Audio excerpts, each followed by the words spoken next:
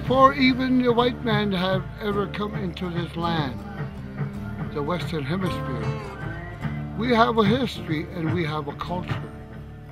We have a dream and we have a language. Over millions of language that our tribe speaks in the various telepathic communication of the original dream and vision.